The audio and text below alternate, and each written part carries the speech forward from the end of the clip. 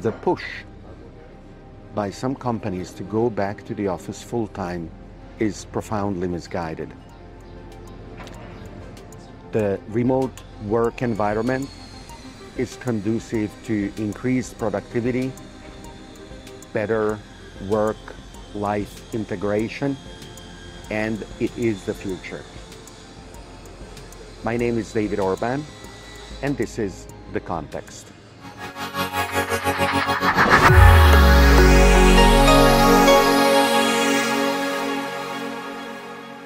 I'm in Nice uh, for a few days. Uh, I spoke at a conference uh, in uh, Monte Carlo and was invited to stay uh, until Sunday uh, when the Formula One races are being held.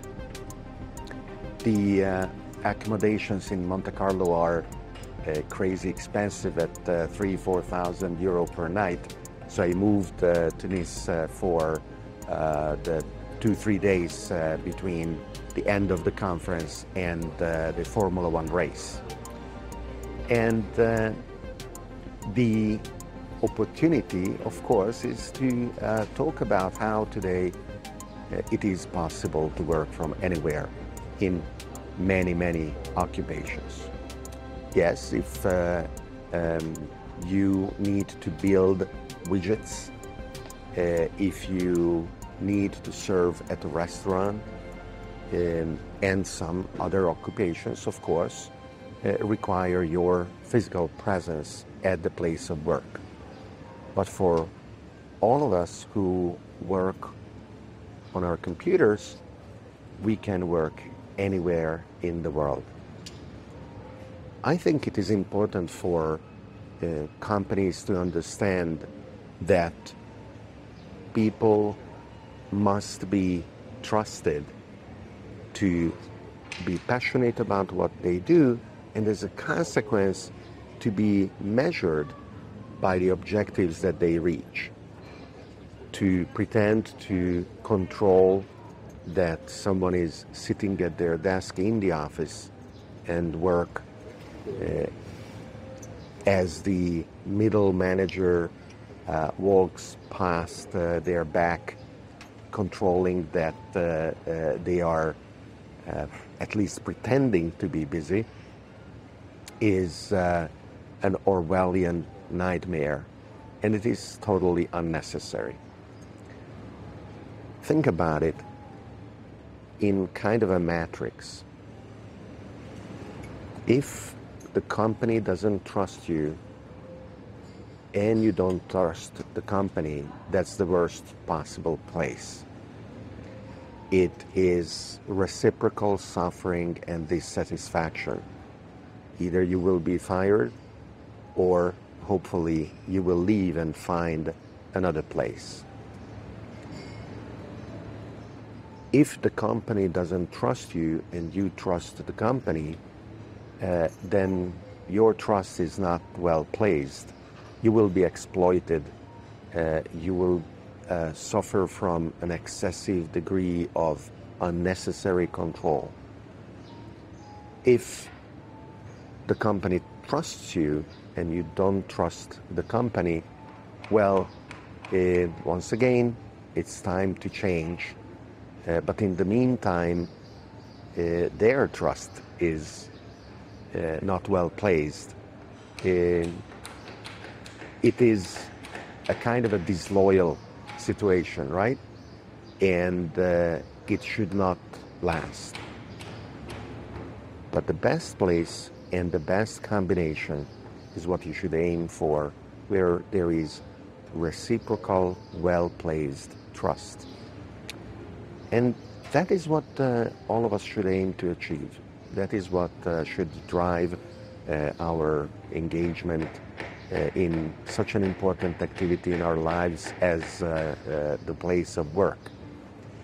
And once that is achieved, really, you can, as long as you have internet connectivity, you have your computer or your advanced tablet or phone, you can do uh, your work anywhere at your own pace, uh, together uh, with your other members of the remote team using um, asynchronous communication, email, but also uh, chat systems like uh, Slack, managing everyone's uh, tasks on uh, Asana, the task management system, or any other similar tool.